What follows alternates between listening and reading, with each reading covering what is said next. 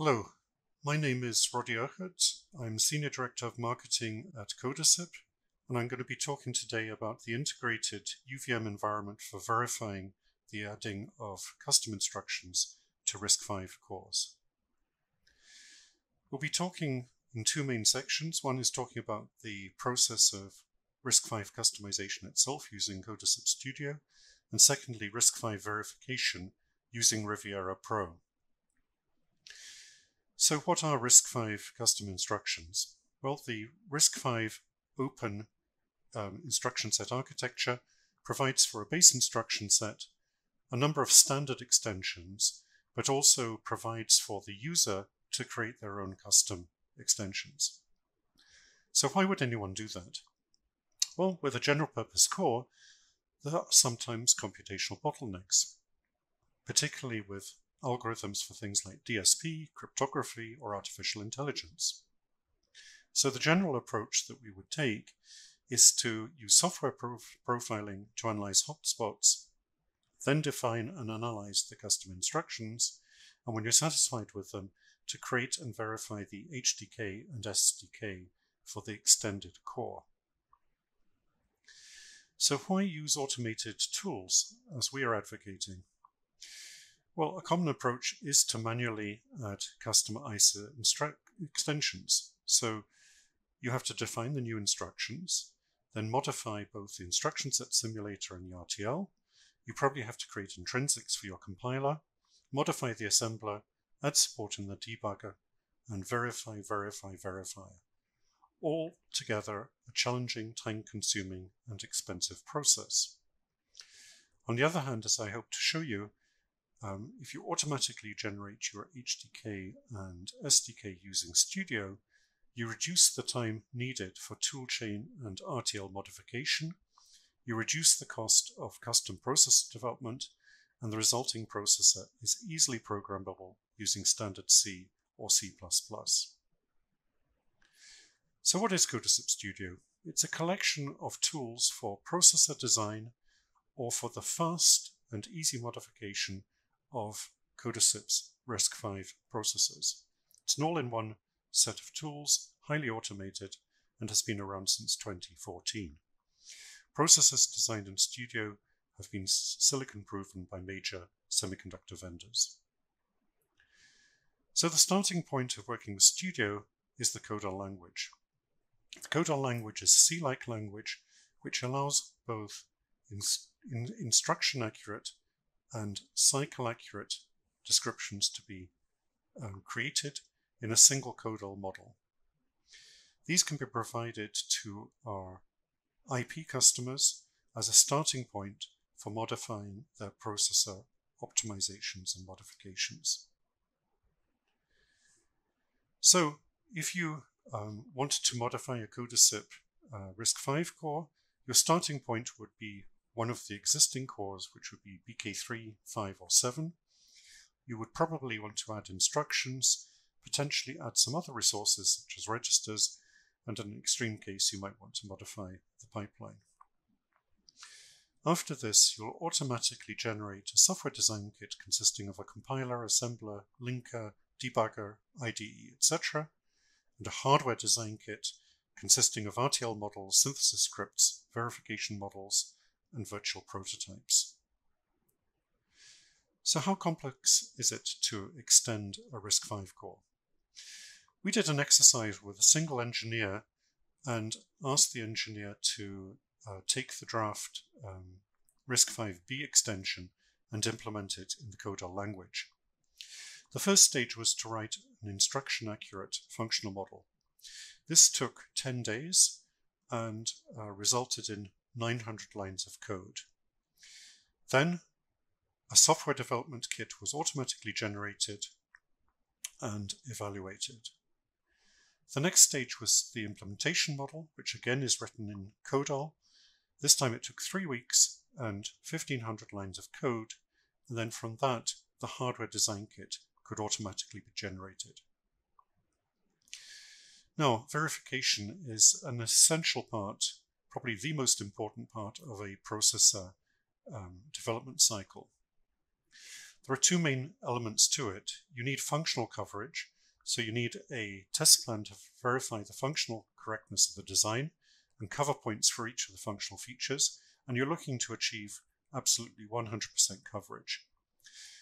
Code coverage can be a little more tricky. This assesses how well the code has been exercised, and some parts of the code may be tricky, for example, state machines, but you're still wanting to achieve a high percentage like 90, 98% if possible. And you need to compare your RTL against the golden reference model. So this is where processor IP co-verification comes in. CODASIP has a strong methodology with a standard approach involving both simulation and static formal analysis. So we use a consistency checker, random assembler program generator, and we automatically generate a UVM environment. This environment is in System Verilog, and you can use Riviera Pro to check that the um, synthesizable RTL matches the golden reference model. So we're now going to look at verification of RISC-V using Riviera Pro. Riviera Pro has a rich set of features for analyzing the design in an effective debug environment.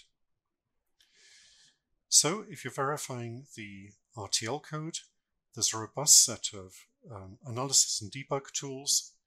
So for, for, for example, here we see um, a waveform viewer, a hierarchy viewer, and a special object viewer for finite state machines. There is also cross-debug um, with the joint CODASIP Aldec's solution, allowing you to have full debug simultaneously on both C and RTL code. And for UVM, um, there is a complete set of tools. There is um, a UVM graph representation. There is a hierarchy view, and you can look at configurations. So you've got an overall perspective on the testbed architecture and the data flow. As we saw earlier, coverage analysis is an essential part of the process of verification, and Riviera Pro provides a range of um, code, FSM assertion and functional coverage um, viewers. So summing up, um, together, um, Aldec's Riviera Pro and CODASIP Studio provide you with a complete set of tools to modify a RISC-V processor core and to verify it. So in Studio, you can describe the RISC-V architecture and add custom instructions. You can automatically generate the UVM environment and configure random assembler program generation. And you can kick off RTL simulation set break breakpoints, and debug. In Riviera Pro, you have um, the ability to run simulation and debug applications. You can expect simulation waveforms and gain an overall uh, perspective on the test bench architecture and the data flow. And all importantly, you can you have viewers which enable you to check out both functional and code coverage um, to assess how effective the UVM tests have been for checking the RISC-V design. This demonstration is focusing on CODASIP Studio and using it to extend a processor core. CODASIP Studio can be used to create processor designs using the CODAL processor description language. And so you can use it, for example, for taking an existing RISC-V designed in CODAL and extending it with custom instructions. For the purposes of this demo, we're going to take a very, very simple processor example called URISC, and we're going to look at a particular simple application, which is a bit count benchmark. So here you see the user interface for CODASIP Studio, and on the left in the Project Explorer, you see both the URISC core and the bit count application. So if we take a look at the bit count application, we can bring up the source code and you can see that there is a function here which um, implements a parallel shift test and then there is a this function is used in a loop which is the main um, code for the benchmark itself. So if we're going to run this code on the URISC, we will need an SDK for the URISC. So on the right, we can go in and generate an SDK. Um, we start with building a simulator, then an assembler, then a disassembler,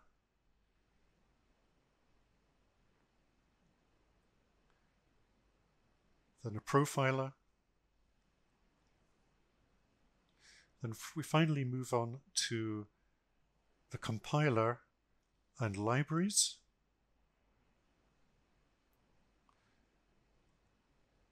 So we'll wait for that to complete. Okay, so now the SDK is ready and we can compile the BitCount application and move on to profiling.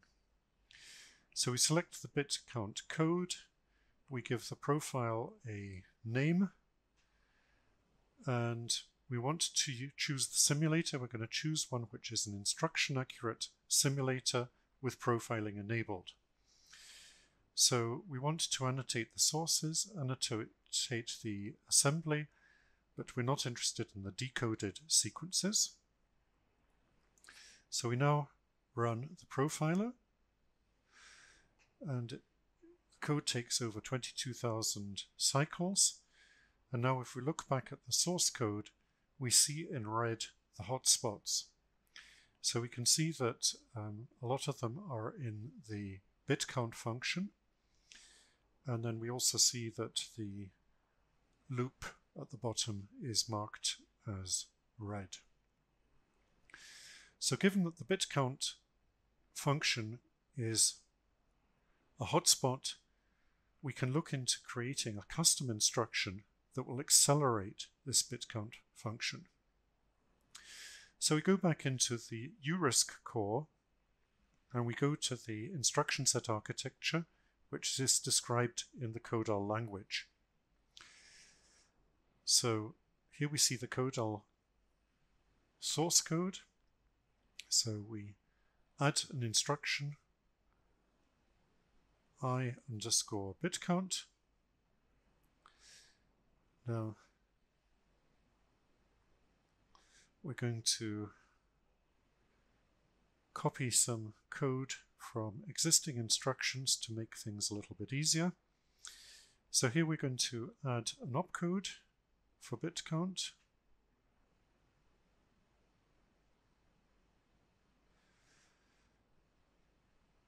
Then put that into the instruction.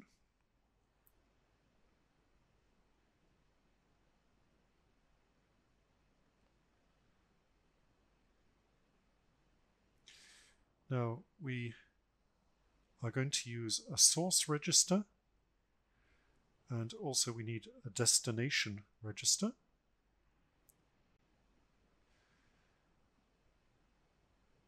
So we're going to rename the instruction.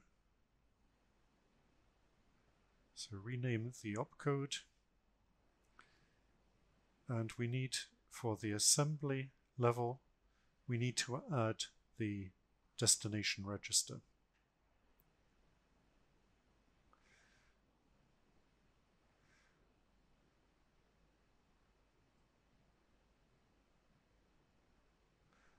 The binary, we need to remove some unnecessary code and to add the destination register. Then we move on to the semantics. And as a starting point, we can use some of the C code in the bit count example. So we copy that code there. We also need to read the source register.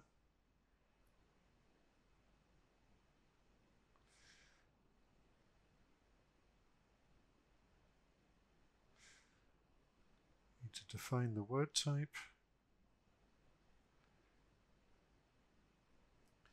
And then we need to write the result to the destination register and remove some unnecessary code. Need to fix a few other things in the code here.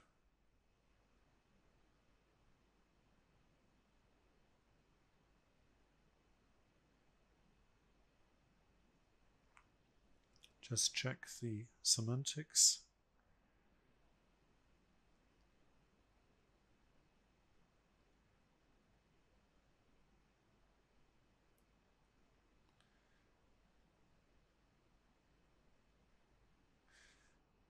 Okay, this seems to be okay. So now we just add in the comment to label the new instruction. So we created a new instruction to address this bottleneck. We now have the issue of compiler hints. We're not going to use the compiler because this is a rather complex instruction. Instead, we're going to use a built-in. And we also need to let the compiler know um, a define um, instruction set extension define so that we can know when to use that when compiling the bit count function. So we want the bit count function to be portable so that it could work on existing cores where it's running, but also run on the modified URISC core where we've added this extra instruction. So summarizing, we've got this new instruction i bit count with destination and source registers. This is reflected in the assembly description with both registers and the opcode and also in the binary. The remaining bits, that's just padding out so that we've got a 32-bit instruction. We read the register, we've got the um, computation to generate the result, and we've got these three hints for the compiler. So a built-in will be used, and this will be dependent on defining ISE underscore ext. And finally, we write out the result to the destination register. So we're going to, as the next step, we're going to have to update the source code of the bit count. But before we do that, let's start generating the new SDK for the extended URISC core. So we kick that off and we start building the different SDK elements, starting with a simulator.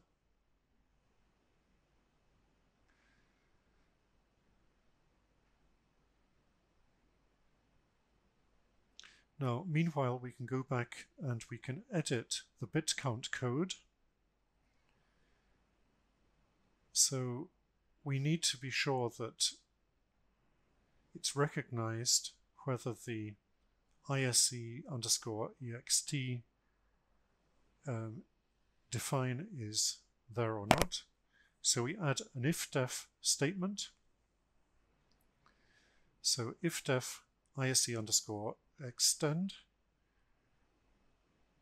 else we revert to the original code and it would be executed as done previously. Now if ISE underscore ext is defined, we want to add a built-in. Now we're waiting for the SDK generation to finish, so we need to be a little bit patient. And when that's done, we can take a look at the build in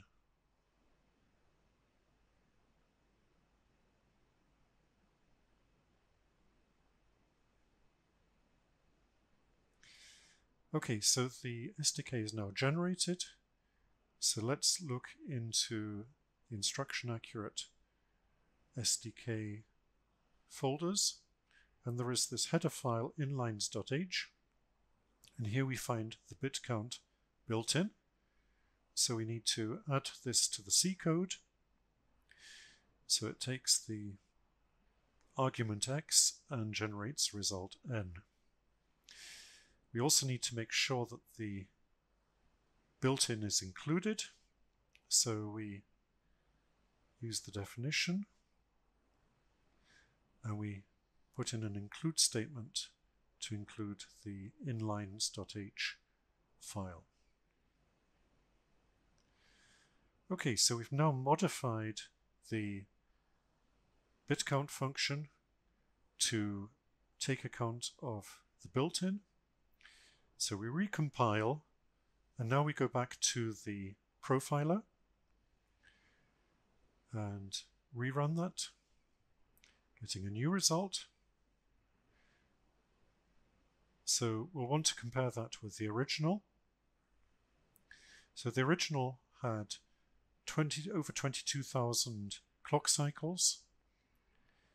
With the modified extended core, we reduce that to 10, just over 10,000 instructions. So we're talking of a 2x improvement by adding the single instruction to the URISC.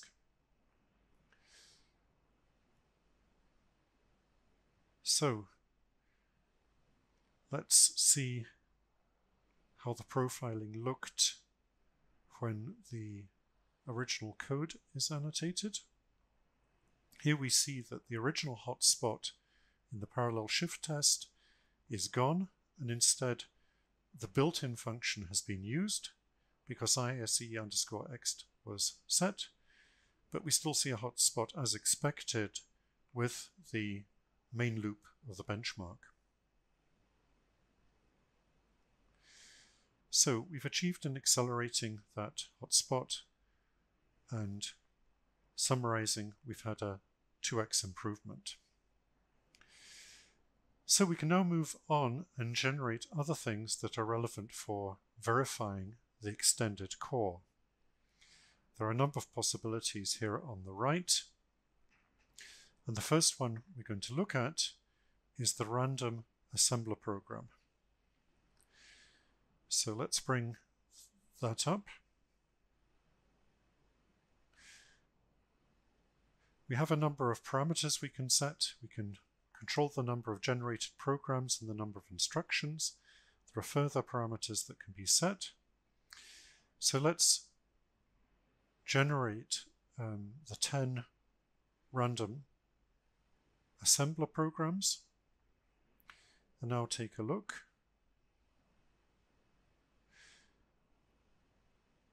So here we see the 10 programs.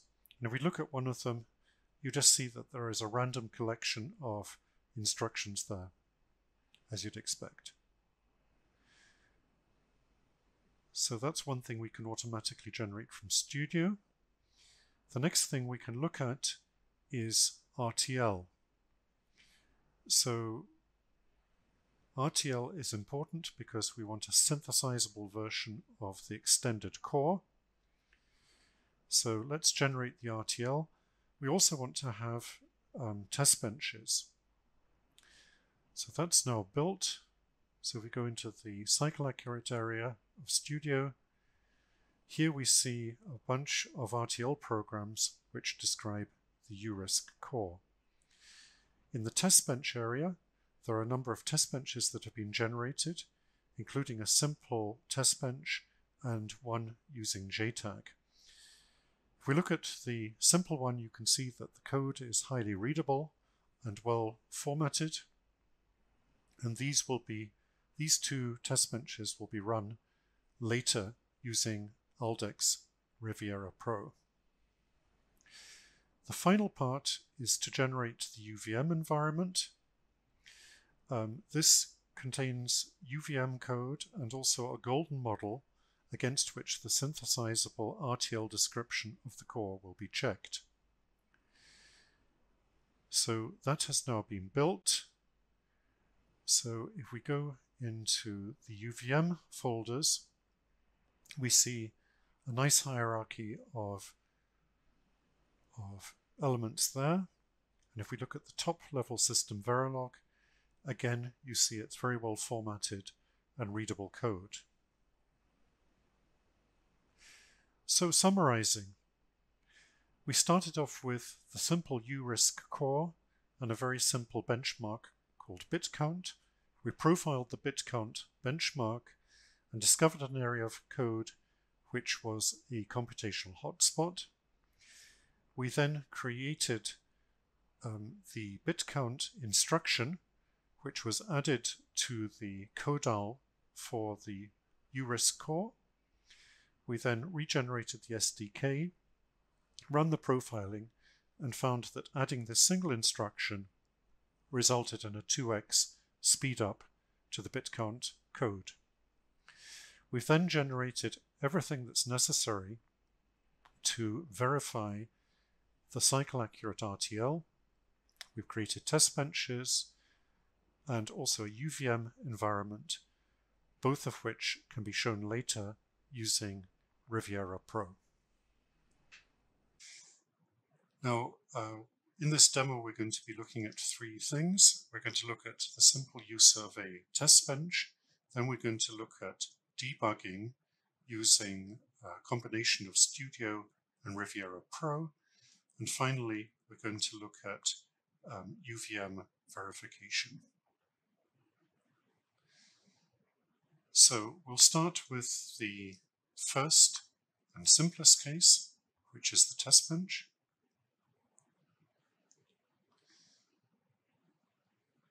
So let's look at the BitCount project.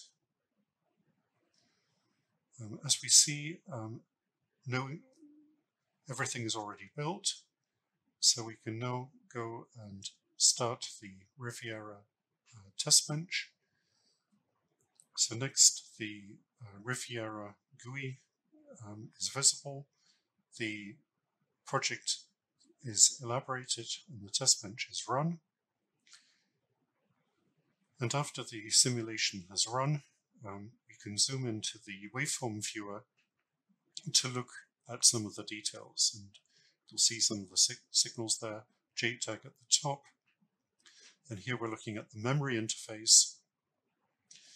And we can look at um, detailed things like the program counter where you see various values in the viewer and we can look at details of resources such as the register file here. So this can be um, a useful way of looking at the behavior of the RTL, but we may want to um, see more details, for example, see the uh, JTAG interface being exercised. So that's the next part of the demo. For the second part of the demonstration, we're going to look at interactive debugging. So we choose a debug configuration, which contains the um, co-simulation between Studio and Riviera. We're going to use the same bit count software example that we had in the test bench. We're going to um, select OpenOCD and the RTL simulator. And we have a Python script which can be used to run both OpenOCD and Aldec Riviera Pro.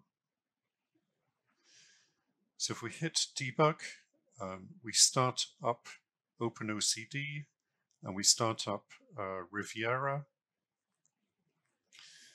and we can look at the um, software debug in the normal way. We can step through the code.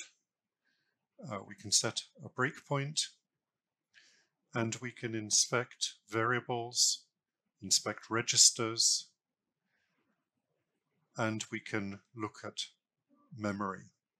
So all the usual things that you'd expect from your software debug. Meanwhile, you can stop the RTL simulation and inspect the waveforms. Then you can resume the RTL simulation and then go back to the debug of the bit count application. So that's showing um, interactive simulation. The next example that we would like to show is to run a third example, which is the UVM. And in this case, we are verifying the RTL against a golden reference. So here the elaboration process starts and we are we now have a fully elaborated um, UVM. We're adding interesting signals from both the golden reference and from the RTL. And the simulation continues to run.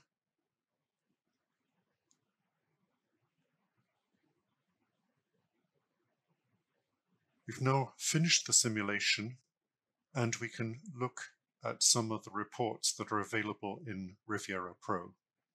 First of all, we look at functional coverage.